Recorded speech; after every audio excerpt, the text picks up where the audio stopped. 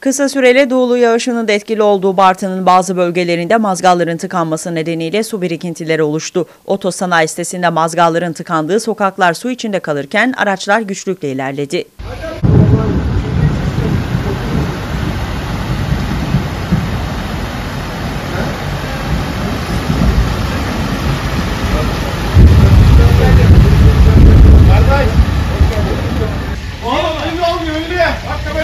kamera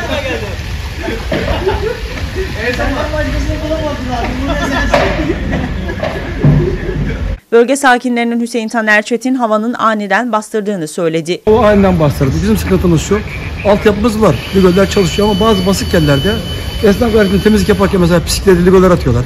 Çalışmıyor. Aniden geldi. Vatandaş bayağı sıkıntı yaşadı burada. Özellikle bu lastikten şu bölge çok tıkandı. Hatta şuradan yaklaşık bak bu telefonun altında çıktısı burada. Hızlı yağış oldu mu? Mükemmel. Ee, yağışın rejim değişti artık arkadaşlar. Yapacak bir şey yok. 5 dakikada yağıyor. Ama şimdi çekilmeye başladı. Allah'tan sıkıntı yok. Ama bir yarım saat devam etseydi özellikle karşı komşularımızın dükkanlarını su basacak. Kentte yağışın kesilmesi sonrası su baskını yaşanan bölgelere müdahale edildi.